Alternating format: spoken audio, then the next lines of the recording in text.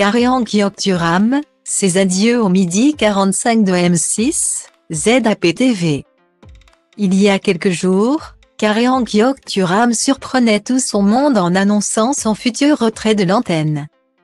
L'un des visages marquants du midi 45 de la chaîne M6 depuis 10 ans, décidait en effet de mettre sa carrière journalistique entre parenthèses.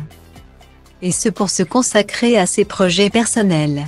La femme de Liliane Thuram, passionnée de musique, a en effet à cœur de réaliser un album hommage à Nina Simone, et c'est l'occasion des 20 ans de sa disparition. Un projet prenant, peu conciliable avec la présentation du journal quotidien qu'elle présentait alors jusqu'ici. J'ai toujours écrit, chanté et composé. La musique m'est importante et la période de Covid-19 a remis les choses en perspective pour plein de gens.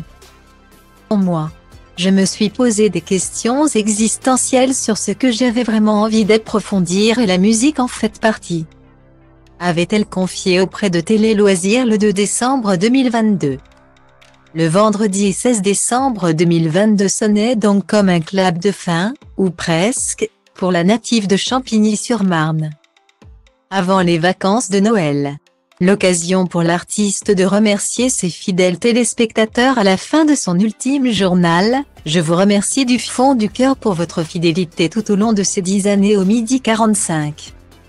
Merci aussi à toute la rédaction, mention spéciale pour le rédacteur en chef Frédéric Dupont. Je fais en effet une pause de quelques mois, avant de présenter celle qui lui succédera dès le début de l'année 2023, et c'est une experte qui prend la suite. Nathalie Renou qui vous accompagne le week-end et vous retrouvera donc la semaine.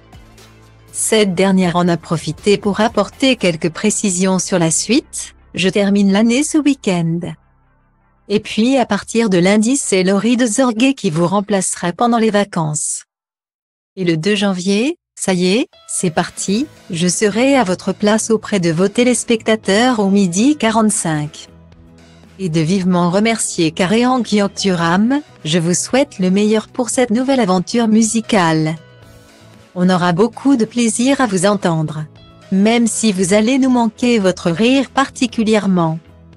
Avant de laisser le dernier mot à sa compère, je vous souhaite à tous de magnifiques fêtes de fin d'année.